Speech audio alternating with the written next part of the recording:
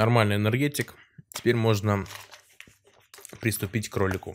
Здорово, пацаны и дамы, кто смотрит данный ролик. Сразу предупреждаю, что ролик строго 16+. В этом ролике я буду сильно бомбить, много материться, потому что меня порядком заебала эта дезинформация со стороны лидера ПД, а.к.а. Маркус Ага, или как его там зовут, мне уже похуй, и администратора Ламба. Не скажу, что я их буду как-то тут разъебывать по фактам и так далее, скорее просто хочу обсудить данный вопрос и закрыть просто эту тему, чтобы меня не доебывали всякими вот этими подобными комментариями, типа «Ох, тебя кикнули с GTA World, из PD, ах ты, ашот» и так далее. Те, кто это пишет, ну, идите нахуй, долбоебы. Да, я могу посылать долбоебов нахуй с этого ролика, потому что это мой канал, здесь мои правила и никто мне не указ. Поэтому, если ты маленький долбоеб, гамбитюк, который пришел на GTA World World и пишет мне подобную хуйню в комментарии, я тебя сразу нахуй забаню, если ты выстрелишь какой-то комментарий, и, блять, ты не сможешь больше не написать ни одного комментария. Хотя мне похуй, можешь писать, я даже банить тебя не буду. Ты лишь поднимешь мне актив на ролике своими комментариями, дизлайками, и он будет выходить дальше в рекомендации для просмотра других людей. Поэтому пиши, ставь дизлайки, делай, что хочешь. Хотя дизлайки уже не отображаются, YouTube вообще красавчик, сделал крутое обновление. Так, я немножко отбомбился, и теперь переходим к теме ролика. Советую запастись чайком, чем-то вкусным вкусненьким и внимательно все слушать. Начнем с самого начала.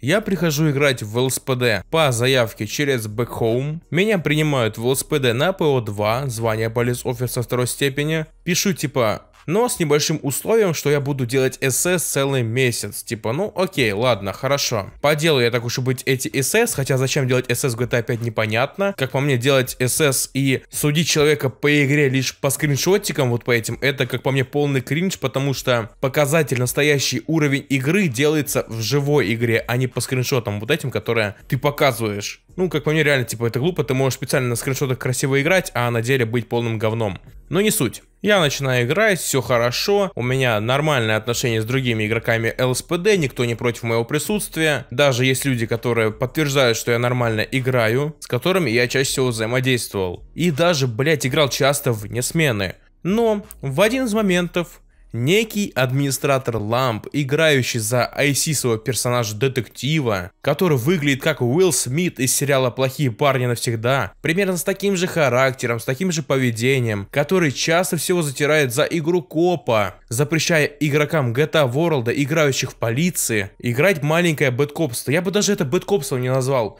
То есть есть чел ПДшник, который отыграл, что запрещает человеку снимать себя на камеру. Админ Ламп это увидел и пригрожает ретестом этому игроку за такую игру. Мол, чувак, ты должен играть по мануалу, понимаешь? Иначе я тебе дам ретест. Ну, вы осознаете, да? За IC угрожать челу ретестом не отстранением, не увольнением, а ретестом за IC моменты ну, сразу понятно, что у человека явно что-то не так с головой, я не буду никак Ламбо здесь оскорблять, унижать и так далее. Просто лишь хочу высказаться на эту тему, потому что Ламп это такой человек, который, если ему что-то начинаешь уже по фактам доказывать, он понимает, что сливается, у него лишь один аргумент на все. Ну, я тебе сейчас ретест дам, как бы, и ты пойдешь гулять. Вот и все, больше у них аргументов, в принципе, и нет. Но это еще не основная проблема. Ретест это ретестами, окей, хер с ними. Но теперь переходим к теме, почему меня кикнули СПД и почему, блять, пошла такая дезинформация, что Стриж Ашот его кикнули СПД почти в первые дни игры.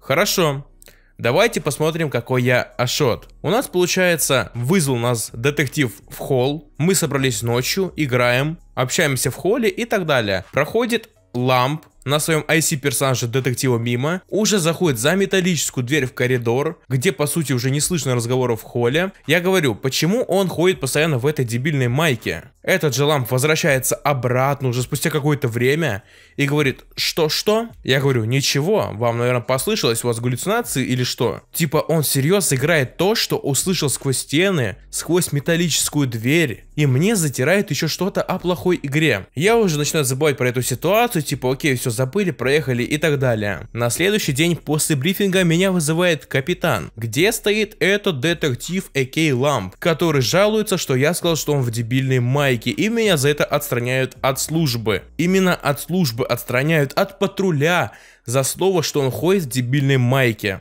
Я начинаю писать новому лидеру ПД, который еще был вроде как зам, который вот этот Маркус Ага, типа, что за дела, почему меня отстраняют, как он вообще мог это услышать, хотя он не мог этого услышать, прикрепляю все доказательства, в том числе и видео. Он говорит, что, ну, он мог тебя услышать, чувак, как бы, он тебя как бы системно услышал, значит, он мог тебя в игре услышать по IC, поэтому, ну, играй как бы это, проблем тут нет. Я такой, типа, чего, блядь? Начинаю уже писать LFM, который Lead Faction Management. Типа, что за дела? Почему они это играют? Он говорит, типа, ну пиши жалобу, разберемся, если там есть реально какая-то проблема, там, типа, OC Infa, MG и так далее, типа, разберемся. Я такой, окей, хорошо, пишу жалобу. Жалобу закрывают с ответом, что игрок мог услышать. А теперь давайте представим, Закрытый кабинет детективов, где они обсуждают секретные какие-то вопросики по поводу банды, рейдов и так далее. Проходит чисто какой-то левый чел, возможно, относящийся к этой банде. Системно видит эти диалоги и с точки зрения логики он может это в IC обыграть и сообщить своим браткам, что на них собирается облава. Наверное, это так работает, поэтому, ну, раз администрация так считает, значит, ты можно так играть, потому что около пяти администраторов именно так считает, что можно так делать. Типа, серьезно, блять, это так нахуй звучит тупо со стороны слов этих админов. Мне, блять, что-то затирают о моем уровне игры, при этом сами считают, что можно реально услышать сквозь стены, находясь, блять, на втором этаже и слышать диалоги, блять, с первого этажа этажа.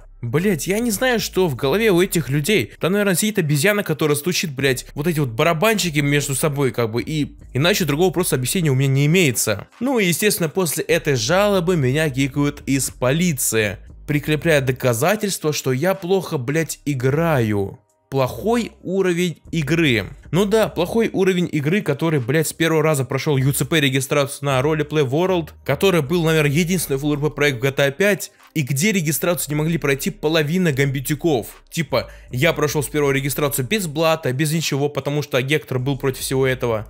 И мне что-то затирает о моем уровне игры. Я сейчас не горжусь и не выебываюсь тем, что прошел с первого раза UCP на Roleplay World и так далее. Просто лишь прикладываю тот факт, что я смог пройти регистрацию, а те люди, которые сейчас играют в PD на GTA World, этого сделать, к сожалению, не смогли. Я не говорю сейчас за всех, я говорю конкретно вот за этих гамбютиков, которые высирают подобный бред о моей плохой игре, подвергаясь высеру со стороны лидера PD вот этого Маркуса и админа Ламба.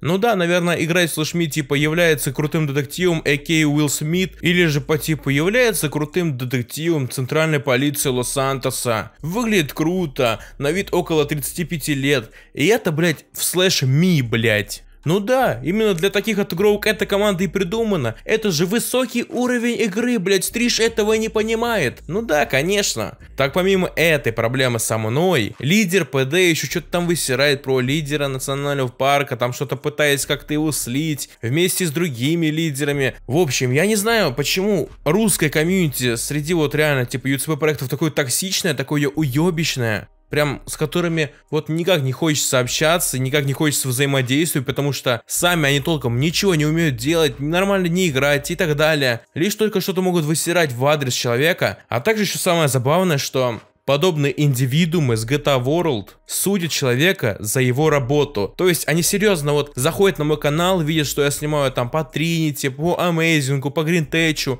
и по другим проектам, которые не относятся никак к UCP проектам. Они такие, ой, блин, ну, наверное, Ашот, конечно, не будем его убрать никуда, он же нуб. А, наверное, просто эти люди не понимают, что такое работа, что такое получать деньги, зарабатывать. Наверное, они думают, что я снимаю бесплатно, чисто для себя, в свое удовольствие. Но нет, Пацаны, блядь, я снимаю на Trinity за деньги, на Amazing тоже за деньги, на Tech тоже за деньги, да даже на GTA World я снимаю за деньги. Будь моя воля, я бы уже давно ушел из сампа, но все, что меня там удерживает, это аудитория, просмотры и деньги. Вот когда однажды упадут у меня просмотры по сампу, я сразу оттуда свалю нахер. Но некоторые, конечно же, спросят или напишут этот высер по типу «А почему ты не снимаешь на Гамбите за деньги?»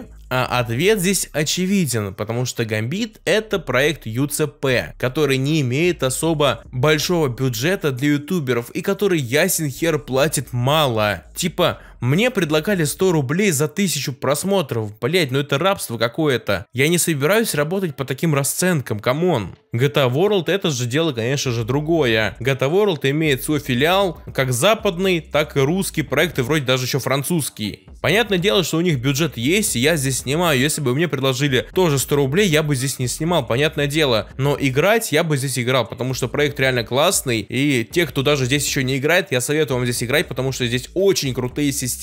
Частично адекватная комьюнити, за исключением тех людей, которых я упомянул в этом ролике. Да, блять, даже здесь кромюки будут адекватнее, чем те люди, которых я упомянул. И даже многие кромюки против этого админа Ламба. Я не понимаю, почему он такой слишком выебист и так много берет на себя слишком большие права и ответственность. Типа он второй уровень админки или какой уж там третий, но, наверное, вроде второй еще. И он строит из себя какого-то крутого, угрожая людям ретестами, банами, варнами и так далее. Блять, чувак, угомонись уже серьезно. Ты такой же игрок, как и все мы но с правами админа, не более. Я на этом же ролик буду, наверное, заканчивать. Я готов к приливу всяких дизлайков, высеров со стороны этих людей, которых я упомянул в этом ролике. Поэтому пишите обязательно свои комментарии, подискуссируем на эту тему, кто прав, а кто нет. Я надеюсь, адекватные люди прислушаются, а те, кто не понял, пусть идут нахуй далеко и надолго в канаву, откуда вылезли обратно. Ну, а у микрофона был я, Стриж. Естественно, Соответственно, играй со мной на GTA World. Промокод ты можешь активировать с помощью команды slash promo strish и получить 50 тысяч вертов, чтобы потом не фармить где-то на работе и сразу купить все, что себе нужно, там тачку, квартирку и так далее, чтобы отыгрывать свою роль. Ну, а у микрофона был я, Стриж, и всем пока.